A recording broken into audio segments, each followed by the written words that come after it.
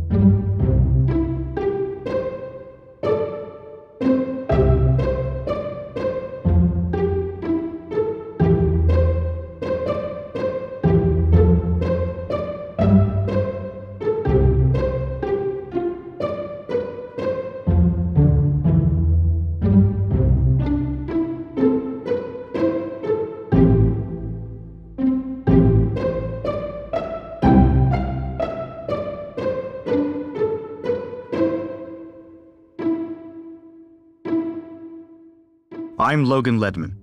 I'm Sam Temple. For this special mini series, we're telling the story of Northfield's Archer House. We've been sharing local history for the past seven years, and we're excited to tell the incredible story of this icon, whose history begins officially in 1877, but whose story begins earlier, in rural New York. There's little known about James Archer's early life. He was born in 1821 in the New York countryside. The United States was young. When James was 14, his family started farming on the prairies of northern Illinois. James was 29 when he was wed to Mary Martin. The young couple struck out north in 1855, ending up on a plot of land in southern Minnesota. It was about halfway between the growing towns of Hastings to its north and Faribault to its south. This is how James Archer became a Minnesota legend. As his acquaintances remembered decades later, James's old log house was the only home on the road in the area. Teamsters driving tons of wheat through the plains were ready for rest after long days of travel in a time before the railroads. And James opened his doors to any traveler. Quote, There was food for the hungry and rest for the weary, remembered the Rice County Journal. The name Archer grew well known throughout Minnesota as the reputation of this gracious man in his humble house spread. James and Mary made a successful team as they kept guests welcomed and fed. They raised horses together, and James won awards at horse shows. In 1858, they celebrated the birth of their daughter, Carrie. By 1870, James and Mary moved to Minneapolis, perhaps hoping to leverage their sterling reputation into further success in the major city. But in 1871, became clear that something was wrong. Mary's health started rapidly declining from an unknown cause. Mary died on November 17, 1872. She was only 40 years old. So, after a decade of living surrounded by hundreds of friends and guests, James and Carrie suddenly lived alone in Minneapolis. Grief stricken, James and his 14 year old daughter moved back to southern Minnesota. They chose a small but growing town called Northfield. That is where James met Sarah. Sarah Monster had been raising her two daughters with her parents' help for a decade. She was only 35, but already a widow. Her husband died in the Civil War. So Sarah moved back in with her parents at Waterford, near Northfield. Sarah was a widow with two teenage daughters. James was a widower with one teenage daughter. Somehow, they connected, and they understood each other's grief. Their daughters were probably fast friends, and soon Sarah and James recognized their shared experiences and compatibility, and soon they married. While James and Sarah built their new family and their new hopes together, Northfield was struck by a sudden drama. In September of 1876, the James Younger Gang robbed Northfield's First National Bank.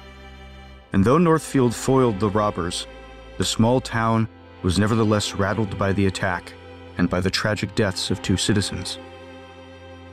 Northfield needed a way to be a community again to know that things would be back to normal. Only a few months later, James Archer began quietly and persistently working on a special project. For decades, Northfield hadn't had a proper hotel, a place to welcome visitors and guests into the community. And more and more visitors were pouring in to see the little town that thwarted the James Younger gang. Shortly after the bank raid, James Archer realized he had something to contribute to this grief stricken town.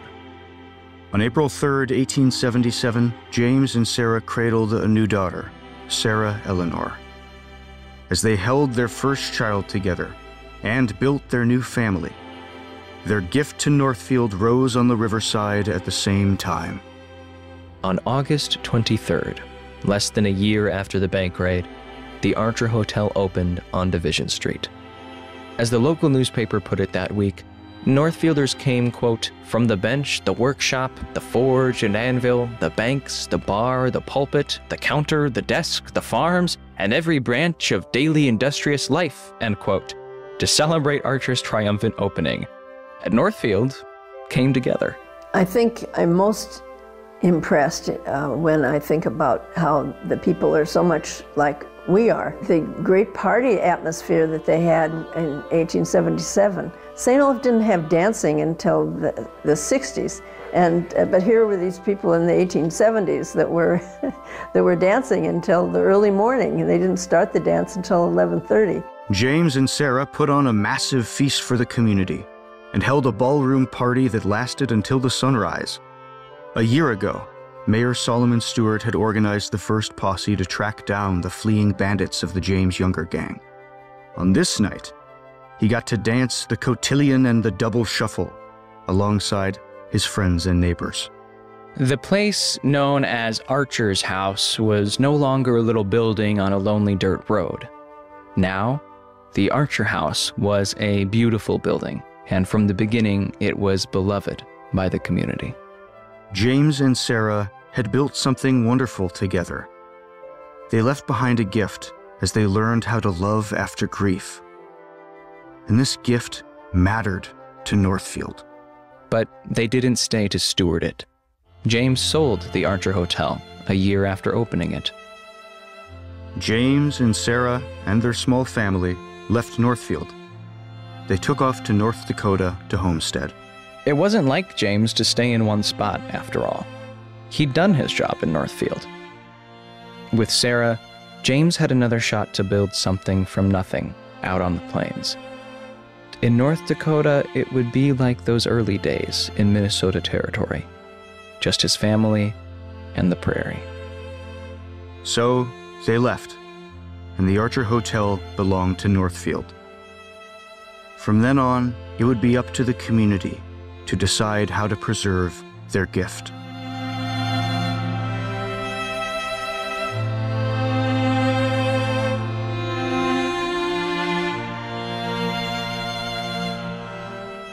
Julian Anson Lawrence is one of Northfield's most charming characters.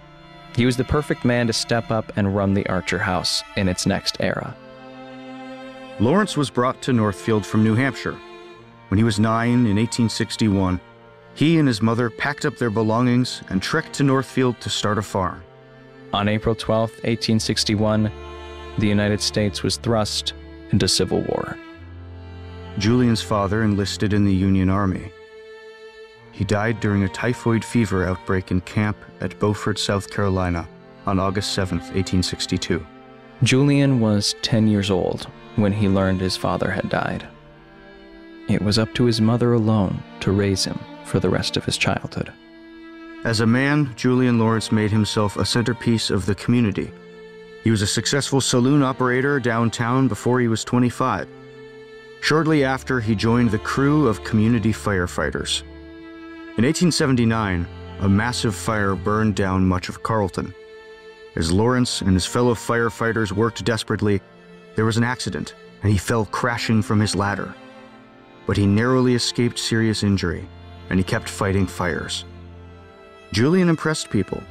In 1880, he was voted the most popular firefighter in the area. He became chief of the city fire department it must have surprised no one when he bought the Archer House from A.W. Dampier in 1883. Lawrence had served the community for years, and now he was ready to take on the mantle of the Archer Hotel. That same year, he married Leotie Bailey. Their ceremony was on Christmas Day, and the local news called it, quote, one of the most fashionable weddings in Northfield, end quote. Lawrence became active in local politics, trading in his fireman's cap for a suit and tie to serve as a city alderman. He took on the nickname Colonel at some point in the 1880s, and he was in so many clubs it's impossible to figure out which one started calling him that first. The Colonel was a member of a club called the Patriarchal Circle, part of the Order of Odd Fellows. He was involved in state level Republican Party organizing. He even founded Northfield Snowshoe Club. He was, quote, one of the best known of Northfield citizens, both to the home folks and visitors. End quote. In short, Lawrence helped make sure that the Archer House practically was Northfield. But in 1889, it was time to move on. Maybe he was bored, maybe the hotel entered a down period. Whatever the reason, Lawrence sold the Archer House. A German immigrant named Henry Kahler moved into town. In the meantime, Lawrence moved on. He was at times the state's assistant dairy commissioner, an enforcer of prohibition in the South, a traveling representative of the IRS, and a special judge for Northfield's municipal court. Northfielders recalled a particular phrase he was fond of. Friendship is remembrance, Lawrence would always say. Northfielders remembered Lawrence and the Archer House as a kind and colorful friend.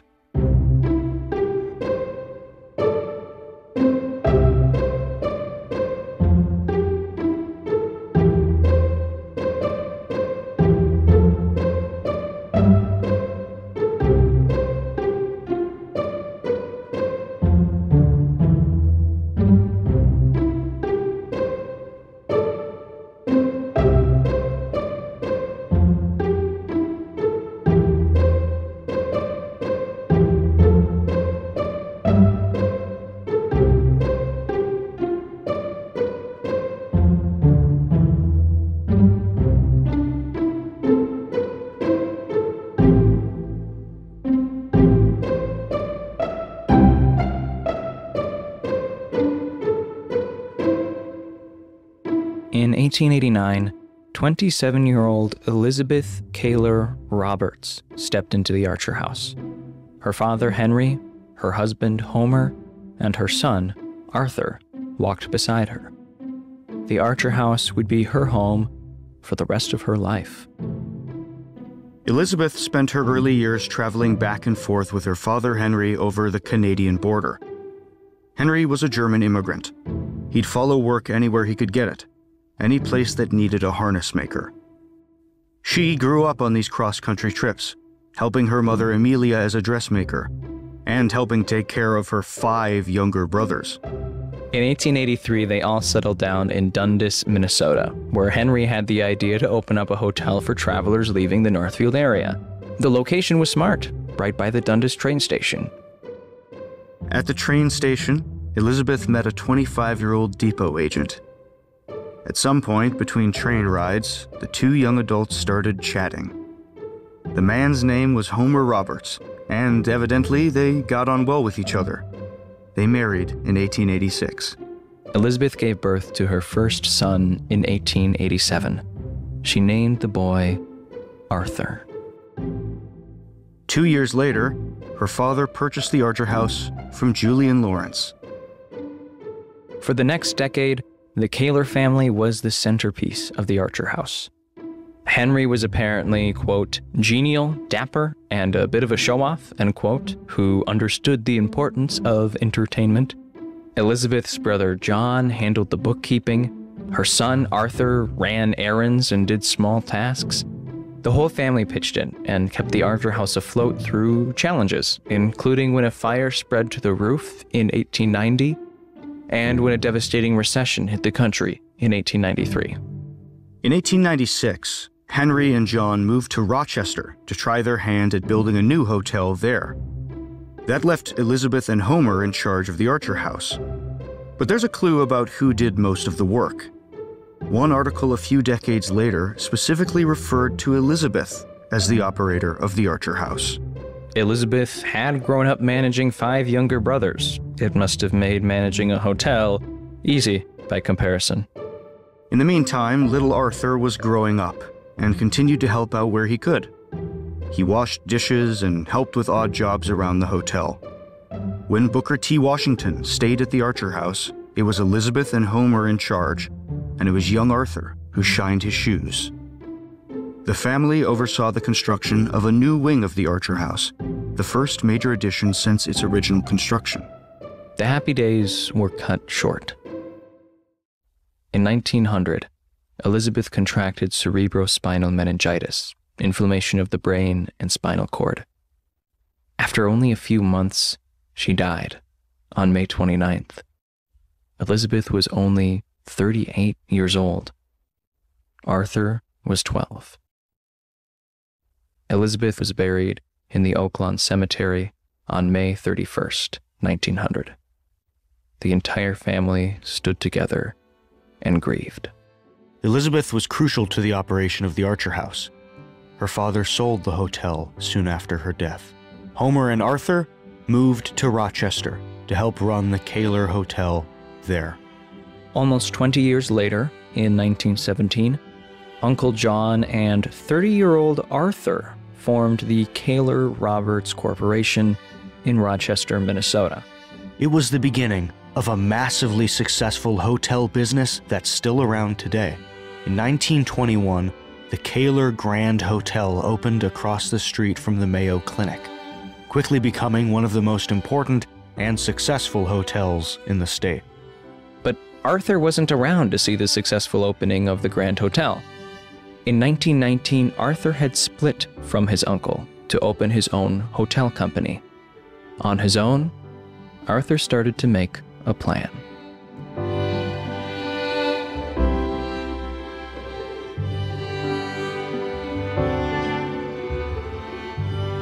Martha Edson was born in 1858 in a Norwegian farming community, down on the southeastern tip of Minnesota. When she was 20, she was living in Pennsylvania, married to a farmer named Milan Stedwell, who was 10 years older than her. For a reason that's been lost, they divorced. For a decade, Martha lived on her own, evidently. In 1895, she reappears in the historical record, marrying a man named Cyrus Tryon. It was a very smart marriage. Tryon was a hotel magnate in southern Minnesota, operating Owatonna's Arnold House, Austin's Tryon House, and Albert Lea's Hill House. He was 64 and she was 37. When Cyrus died two years later, Dr. William Mayo personally attended to him.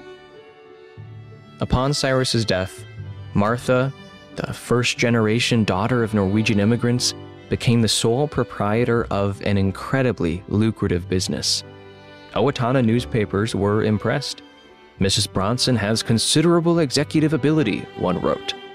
The town learned that Martha had helped save the Arnold House from financial ruin in the last years of Cyrus's life.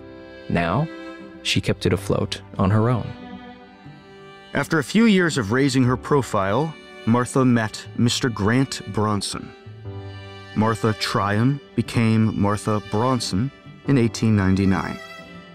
The marriage did not mean Martha lost her independence. As the newspapers put it, quote, Mrs. Bronson will continue to operate the house, end quote. In 1901, the couple opened a new hotel in La Vergne, the Manitou Hotel. Most newspaper coverage of the opening says Mr. Grant Bronson has opened a hotel.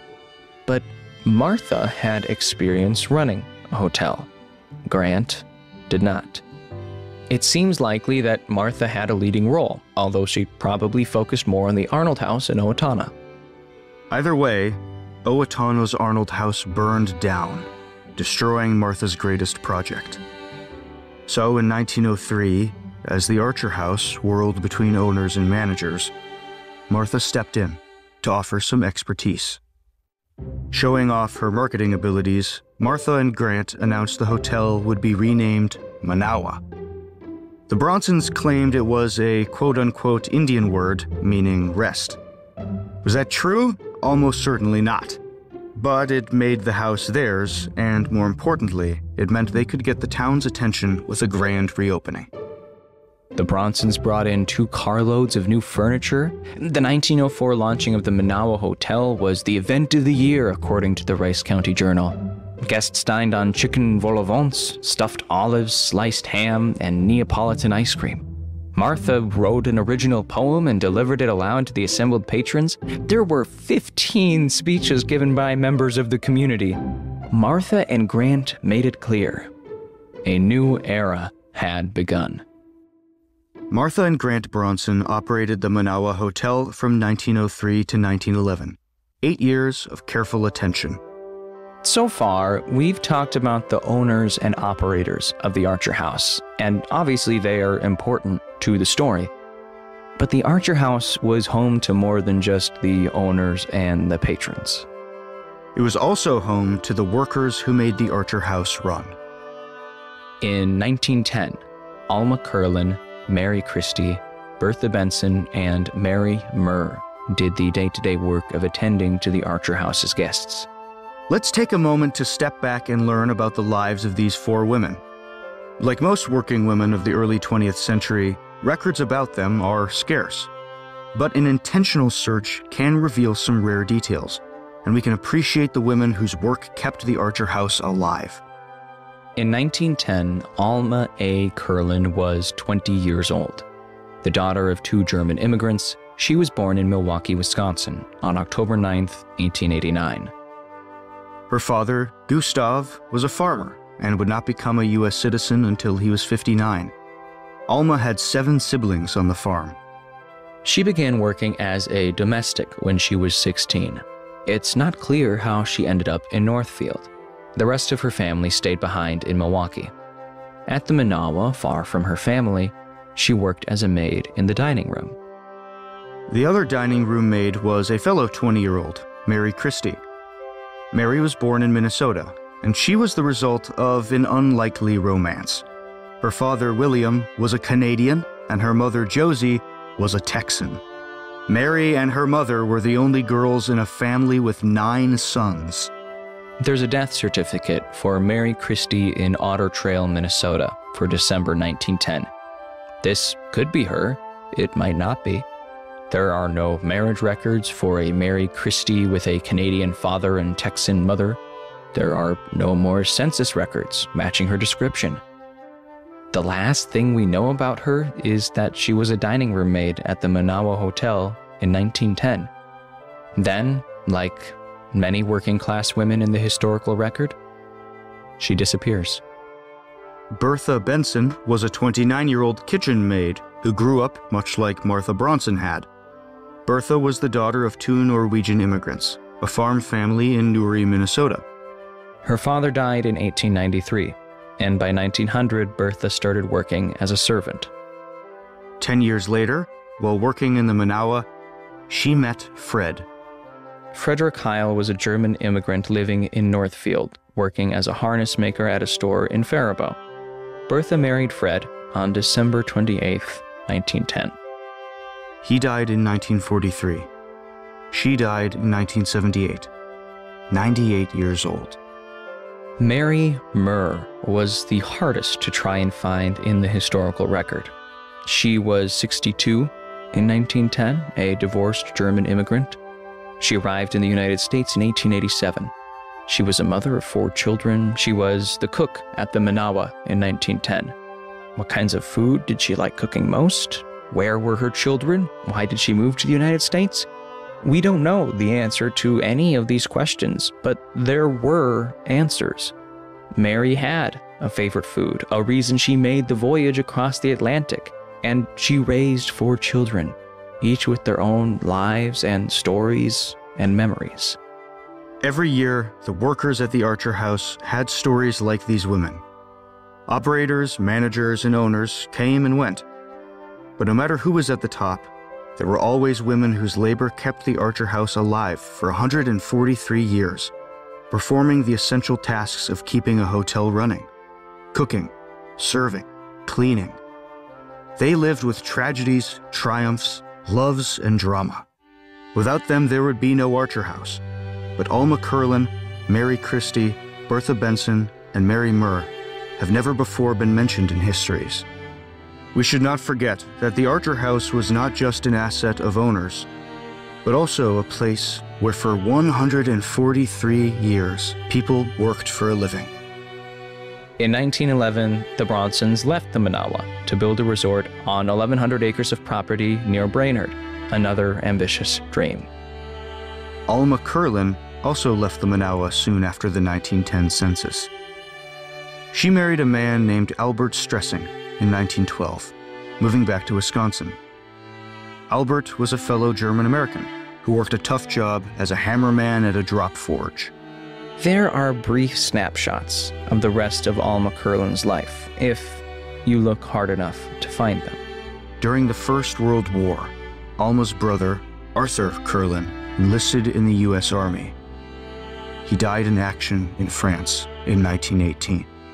Later, we know Alma's husband took a job as an attendant at a local zoo. Alma's son, Albert Jr., enlisted in the Second World War. He served in the Army Air Corps. He survived.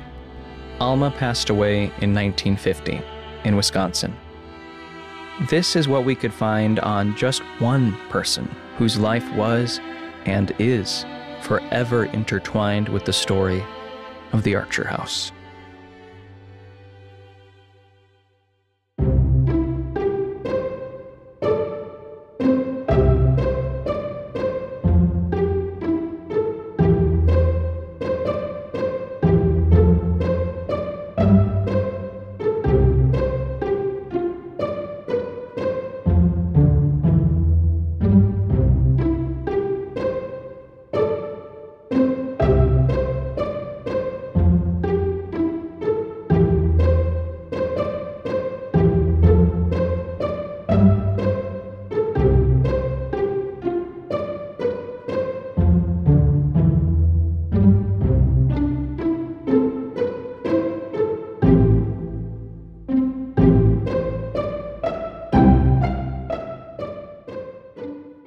Martha Bronson left, the Manawa entered a chaotic period.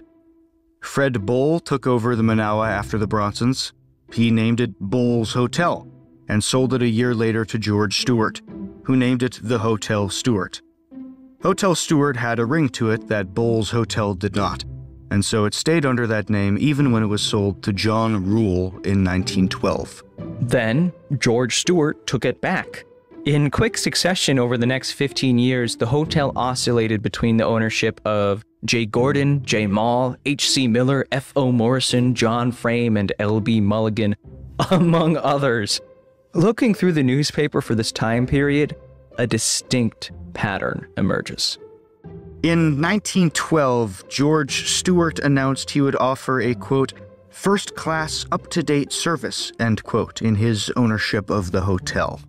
Seven years later, H.C. Miller planned to, quote, remodel and rebuild the hotel completely, end quote. In 1920, a Northfield News report on the Stewart said, quote, Northfield will soon have a first class modern hotel, end quote. In 1921, new owner F.O. Morrison let the news know he had a, quote, view of furnishing Northfield with a first class hotel, end quote. Seven years later, John Frame stepped in, and the news reported that Frame, quote, expects to begin work at once to convert Stewart Hotel into a modern unit, end quote. You get the idea. A parade of men came through claiming they would turn the hotel into a modern first class hotel. None of them did, evidently, since it never was referred to as actually having become a first class modern hotel. The hotel stagnated. No one was willing to sink their teeth into the project. This era lasted decades, stretching through the Great Depression. In 1935, a man named J.C. Kretschmar took ownership of the Hotel Stewart. But he wasn't acting on his own. Kretschmar was employed by the Arthur L. Roberts Hotel Corporation. Kretschmar sold the hotel again soon after, but Arthur had made his point to the community. He was planning on coming home. In 1947, Arthur Roberts was 60 years old. In the decades after his mother's death, he had built a hotel empire rivaling even his relatives in the Kahler Hotel Corporation. The Arthur Roberts Hotel Corporation owned and operated at least 34 hotels across the country. Arthur's life had been a mixture of triumph and tragedy. He was celebrating 40 years of marriage to his wife, Lucy Murray. Together, the couple had one son, Thomas. Though Thomas was poised to continue his father's legacy, his life was tragically cut short in a 1934 accident. Arthur continued running his company as he grew old. And so, in 1947, Arthur announced a stunning plan to Northfield, almost 50 years after he had left it behind. He was going to buy the Hotel Stewart and demolish it. In its place, he envisioned a monument like nothing in the area a massive 60 room building, a crown jewel in the empire he had built, in the town where it all began. He would name it in honor of his mother. The planning began as soon as the deal finished. There was plenty of red tape to cut and hoops to jump through, so he had to manage the hotel successfully in the meantime. If anyone had the right to do this project, it was him. In a way, he'd been preparing for this project since he was 12 years old. Arthur returned to the room his mother died in all those years ago, now an old man. The Archer House was not just a building. For Arthur, it was where the person he loved most had died, far too young. He'd come back to make it new. Then, in 1949, Arthur's wife, Lucy, died. The plan faltered in the next few years as Arthur tried to continue on by himself. He continued to make improvements to the hotel here and there, but the plan never came together. Arthur Roberts died in 1952, three years after his wife. After a few years of wrangling with the estate, the hotel passed to the Paschal family, who passed it to the Lethbridge family in 1963, who passed it to Colonial Properties of the Twin Cities in 1977. The uh, Jefferson bus line used to stop there. And there were some colorful characters that would get off the bus and on the bus there. 100 years after it had been built by James Archer's perseverance through grief, the hotel sank into disrepute. No one seemed able to bring the building to its former glory. It threatened to become a blight on the community. Finally, the building was condemned. To many in the community, it seemed the hotel's era as part of Northfield was coming to an end. But yeah, it, it needed somebody to come along and save it or it was going to just be abandoned, I'm sure. It didn't have much life left in it.